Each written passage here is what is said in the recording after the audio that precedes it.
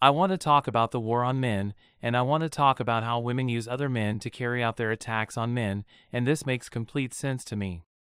Because in order for a man to be a part of a world dominated by women, he must adopt the values of women, and one of those values is the hatred of men. Of course, not all women are healthy if they hold the value of hating men. Women do not hate men, rather, they despise other women who have been brought up to believe they are entitled to things and who are not productive or healthy individuals. It's easy to fall into the psychological trap of blaming other people for your lack of success in life and your inability to get things done. After all, making the right decision can be challenging. Either you have to confront the reasons why you failed at something, at which point you are aware that you are facing your own weakness, or you have to make an excuse, at which point you really can't overcome it. You are aware of that vulnerability, and as a result, it is a trap. It is similar to quicksand, or a Chinese finger trap, in which the more you struggle to free yourself, the more secure the trap becomes. If, however, you are able to recognize how it is working, relax, and give in, then you will be able to escape the trap. This is similar to certain wrestling holds in which, if you are aware of where the pressure is being applied, you will also be aware of how to escape from the hold. However, if you are unsure and you exert effort in the wrong direction, you will only serve to further ensnare yourself in the predicament.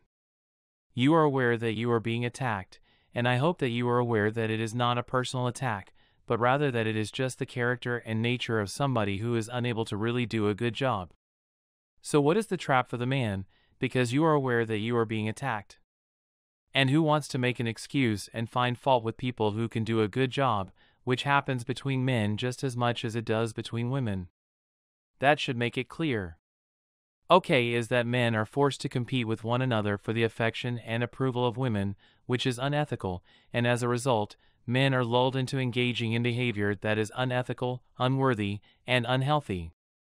That is actually destructive to their own nature and character, like a bird that rips off its own wings in order for women to accept the men. However, in order for women to accept the men, that is how the man has to behave, and that is the attitude he has to adopt towards other men, particularly the productive and capable men.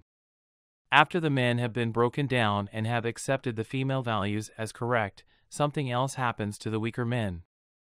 Which is a very weak way for a man to go because it means letting the woman be in charge, and as you probably already know, women can't really be in charge.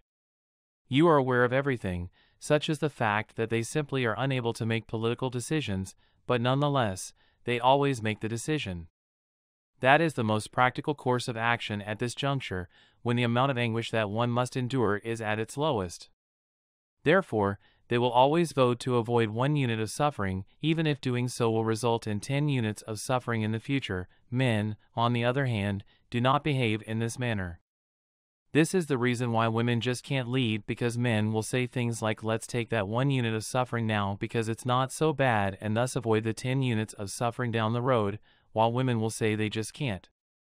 They just can't plan some of them, you know they can plan them individually, yes, but as a group with security concerns and emotional concerns, no, they can't plan them, is that right? It is a terrible idea that we want to put women in positions of authority and power and make important decisions. It would be absurd to suggest that women possess the same level of ability as men, given that the vast majority of men are unable to successfully complete this task. I'm sorry, but it requires a different frame of mind, therefore, the men in their company who are not leaders need to adopt the values that women have and the mindset that women have. You already know what happens next. They start behaving exactly like women, which means that instead of the man getting up and engaging in productive work, he begins to imitate the behavior of women. He stands up and begins to criticize other people, claiming that he is unable to perform his duties because other people are making it difficult for him to do so.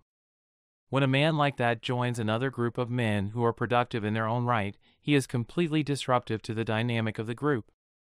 If you have a group of men working on a construction project and they are all good workers, but then you bring in another man who claims to be a good worker when in reality he is not, then the project will be delayed. You should know that he is stupid and that he has a female mentality because he is going to come in there and start making excuses for his lack of productivity and then try to convince the other men that he is right. Oh, complaining, moaning, lying, slandering, and not being productive are perfectly acceptable behaviors for you, and the only way you can get away with doing things like this. If you blame someone else, then the entire construction crew will go down the drain, and you know this because you have this one man hanging out in the group, then you are responsible for this.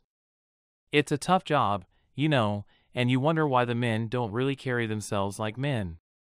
But what happens if half of the men you know already have this female mindset? Why they are not in shape and why they are not toned, why they are not thin men are not supposed to be overweight, they are not supposed to be obese and diabetic, they are just not supposed to be overweight and diabetic. Even old men are not intended to resemble old women because even old men are not intended to resemble old women. I want you to acknowledge the fact that men are increasingly adopting the mentality of women. You are aware that competition is healthy because of this phenomenon. Because of this, if you're stuck in a rut and someone who is, um, competitive toward you and a little bit of a threat towards you comes along, you should try to shake things up. It will rev up your male metabolism, and hopefully there is nothing more frustrating than seeing a man who is unable to move on from his feelings. It's a void because no matter what the circumstances are, as a man you should be able to put aside your emotions regarding it and get on with the job and do the work, but these men scream, they yell, and they accuse each other, and look, I know decent guys. It's a boy right because no matter what the circumstances are as a man you should be able to put aside your emotions regarding it and get on with the job and do the work they are just incapable of controlling their rage, their emotions, and their anger. They become so upset and so offended that they are incapable of producing high quality work. If you ask me honestly, it seems as though they are offended. Do they go out and help build up the borders? Do they suggest plans that would help strengthen the borders? Since you are aware that the country is not doing everything it can to defend its borders, you may be wondering if they do either of these things. You know what they do, they attack other men who are in fact building up the borders because they don't like the way that those other men are building up the borders, and this becomes this lifelong pattern right here. Therefore, you need to break out of that pattern, you need to recognize this tendency in other men, and this is the challenging part. You need to disassociate with those men you need to recognize the true poison in their character and avoid them, they will use it. So, you need to break out of that pattern, you need to recognize this tendency in other men, and this is the difficult part. You need to recognize this tendency in other men. They will try to connect with you over something that the two of them share in common, such as a common goal, but then they will unload their broken personality on you, which is a really difficult thing to deal with. This is the origin of MGTOW OK, when you look at the woman, you can see that she is broken emotionally and psychologically, and that she lacks virtue. She doesn't have any integrity, and all she's doing is manipulating the entire situation. She doesn't even have any self awareness, and because of this, she's going to try every dirty trick that she can think of, and you should say this to yourself. She doesn't have any character. It's too bad about that because maybe it's an attractive woman maybe it's someone who has a lot of potential. It's possible that there are ways in which the two of you could help each other, but you can't do so because one of you has fundamental flaws, and those flaws are going to be revealed. It may not come out today, and it may not come out tomorrow, but eventually, the person who can't control their emotions and is abusive to other people is going to turn on you. It may not come out today, and it may not come out tomorrow. It makes no difference if they are helping you today, if you continue to associate with them, they will be okay with betraying you tomorrow. That animosity and viciousness that they direct at other people, that unrestrained emotion that they direct at other people will eventually be directed at you, and it is being generated by a series of thoughts that are so corrupt and poisonous that if you hang around it, of course it's going to turn on you. If you hang around it, it will eventually be directed at you. The vast majority of people are located in the same spot, so this can be compared to a defect in a sword, right?